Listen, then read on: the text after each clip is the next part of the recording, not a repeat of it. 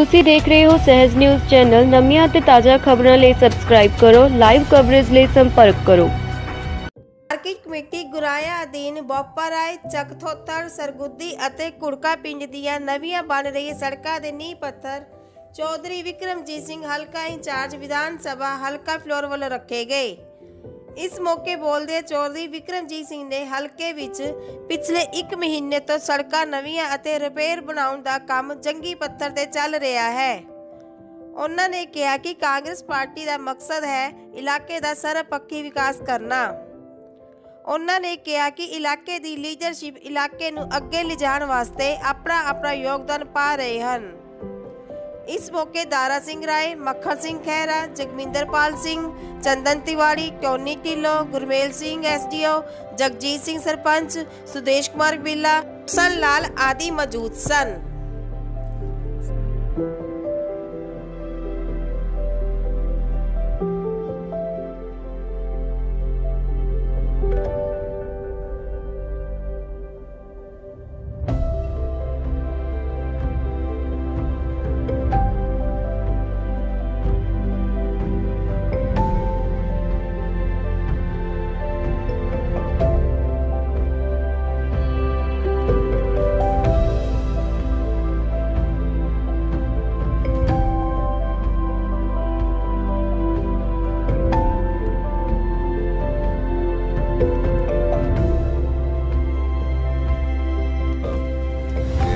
ਦਾਰਾ ਸਿੰਘ ਰਾਏ ਜੀ ਦੀ leadership ਹੇਠ ਇੱਥੇ ਤਕਰੀਬਨ ਅ, 80 ਲੱਖ ਦੀਆਂ ਜਿਹੜੀਆਂ ਚਾਰ ਸੜਕਾਂ ਉਹਨਾਂ ਦਾ ਅੱਜ ਅਸੀਂ ਉਦਘਾਟਨ ਕੀਤਾ ਹੈ।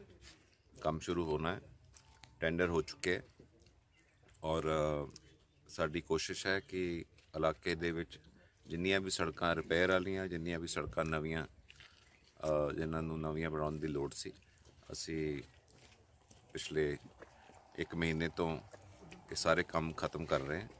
ਔਰ ਉਮੀਦ ਹੈ ਕਿ ਆਉਣ ਵਾਲੇ 1 ਮਹੀਨੇ ਦੇ ਵਿੱਚ ਇਲਾਕੇ ਦੀਆਂ ਸਾਰੀਆਂ ਜਿਹੜੀਆਂ ਸੜਕਾਂ ਨੇ, ਉਹ ਜਾਂ ਉਹਨਾਂ ਦੀ ਮੁਰੰਮਤ ਹੋ ਜਾਏਗੀ ਜਾਂ ਉਹ ਨਵੀਆਂ ਬਣ ਜਾਣਗੀਆਂ ਮੈਂ ਆਪਣੇ ਵੱਲੋਂ ਸਮੁੱਚੀ ਮਾਰਕੀਟ ਕਮੇਟੀ ਗੁਰਾਇਆ ਦੀ ਆਫੀਸਰਸ ਨੂੰ ਔਰ ਸਾਰੇ ਜਿਹੜੇ ਸਾਡੇ chairman Sahib, vice chairman Sahib, ਉਹਨਾਂ ਨੂੰ ਵਧਾਈ ਦਿੰਦਾ।